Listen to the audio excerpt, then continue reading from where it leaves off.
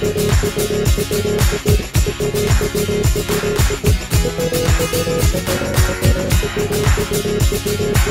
you.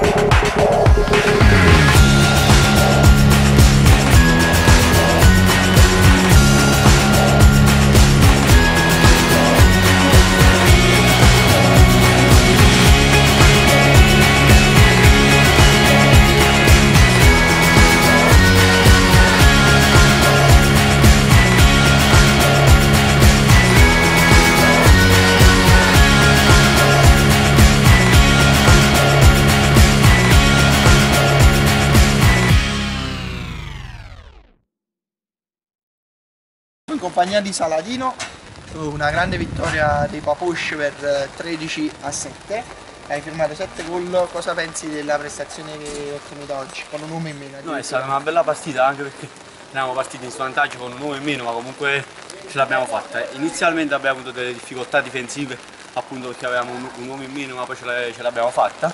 E come all'andata però il secondo tempo siamo calati un po' ma comunque siamo riusciti a vincere Bocca al lupo per il torneo, gran bella prestazione.